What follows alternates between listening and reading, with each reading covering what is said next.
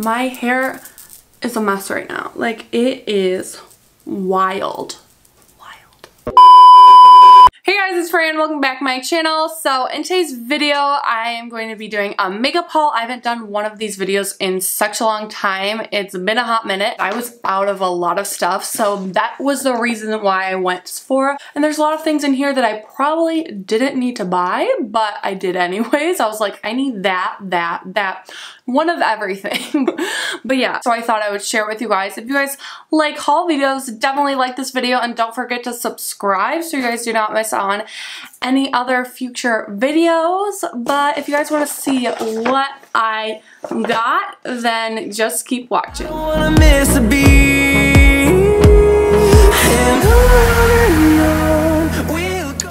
Alright guys, so um, it's kind of not that much, but I thought I would share with you guys anyways.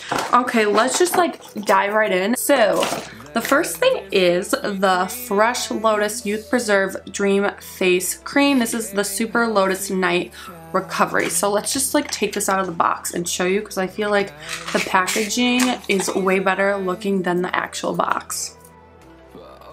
So um, a couple weeks back when I actually went to Sephora last, I think, or maybe a couple months ago, I really don't remember.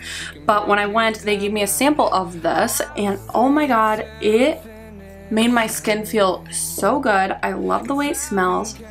It just like smells like fresh, obviously, hence the name. Um, it just feels like so nice on my skin. It feels like I feel so like hydrated. It just like really feels good when I wake up in the morning and I my skin just feels really good. So like what it's supposed to do is it's using cutting edge extraction technology that harnesses the natural power of the whole living lotus plant, works overnight to help reduce signs of daily skin stress and fatigue for a youthful, rested, radiant look. So we always need that because I'm always looking tired, like my dark circles. Hello, we see you. But yeah, it does give a little bit of a radiant look. Um, you definitely only want to use this at night because it is a little bit of a heavier like cream it, because you don't want to put it on in the morning before you put on your makeup. It might make your skin just feel a little bit heavy because you always want like a heavier like night cream before you go to bed because then it will definitely see definitely soak in and really do what it's supposed to do and keep you moisturized all night long and I feel like this might be a little bit too heavy for like a daily use. You want more of like a daily moisturizer that isn't as heavy, like maybe like a water-based moisturizer for during the day. So the next thing is the Makeup Forever Artist Face Color Sculpting Powder. This is in the color S116.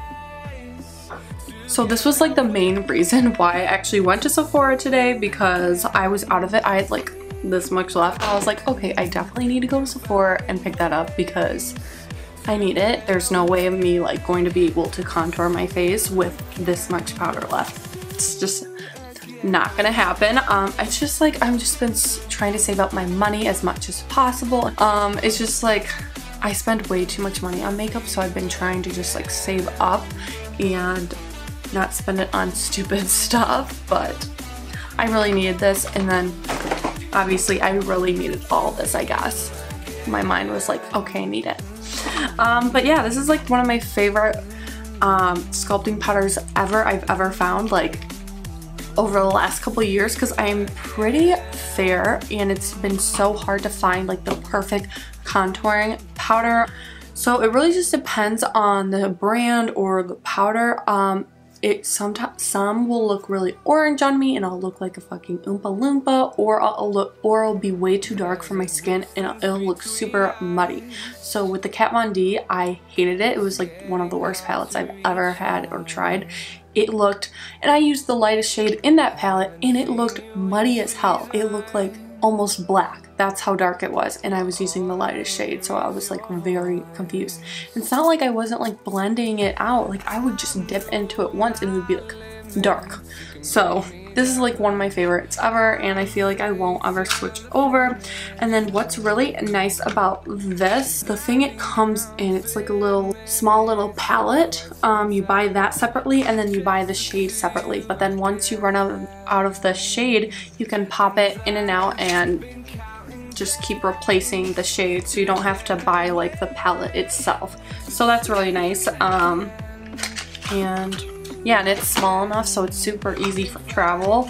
Um, so you don't have to carry around a huge ass palette. That's one thing I like about this because it's very small and easy for travel. Okay, the next thing is, I probably really didn't need this, but um, I, when I was like waiting to check out, I saw this. It's the Invisibobble Scrunchie.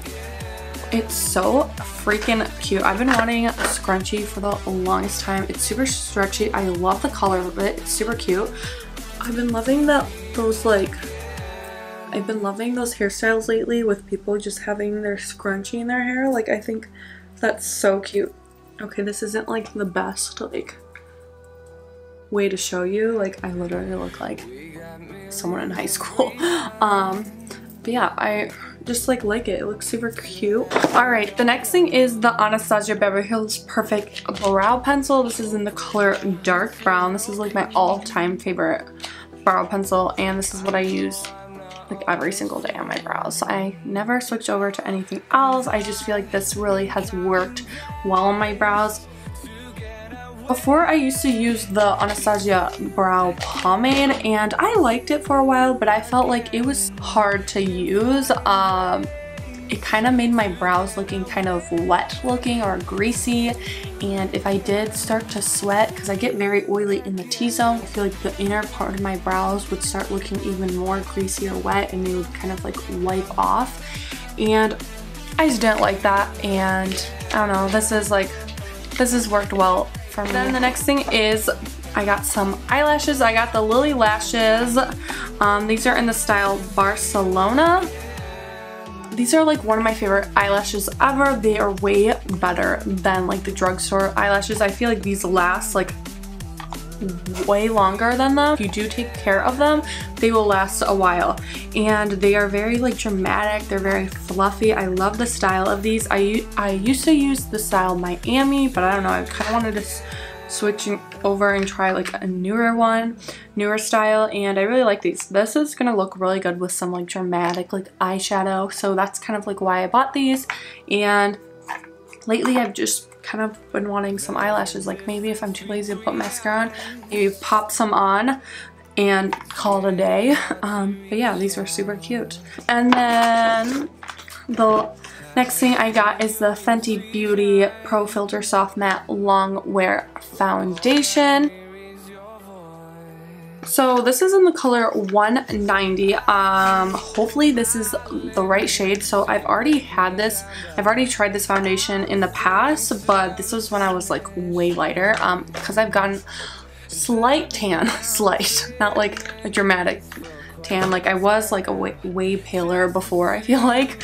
Um, so hopefully this is like the right shade. It's so hard to match in store because the lighting is so weird in there and then when you walk out and you look on your arm you're like damn that's orange. So let's hope this matches. Um, I don't know. Um, this is like one of my favorite foundations. I feel like this works so well. Um, I always get good results with it and I feel like it's a good foundation. Alright, and then the last thing is the Milk Makeup Foundation Stick. This is in the color Light Medium. So hopefully this is the right color as well because it was very hard to find my color in this as well. It was just, it was just hard because you know the lighting there is weird. I love the packaging of this. It's so sleek. So this is supposed to be like a medium coverage. Um, it's natural finish foundation that covers, calms, and flexes without creasing or caking. And that is always a must. And you just like twist it up like this. You can twist it up or down. So that's really nice because with most stick foundations, you can twist it up, but then once it's twisted up, you can't twist it down. But yeah, I really hope this is like the right color because that's gonna be a problem if it isn't but we can always return it if it doesn't work. Guys. That was everything. I really hope you guys enjoyed this like small little haul. I know it wasn't a lot but i hope you guys enjoyed it. Anyways if you guys did please give it a thumbs up. Don't forget to subscribe if you guys would like to see more hauls from me. Definitely comment down below so i can definitely do that for you guys but i will see you guys in my next video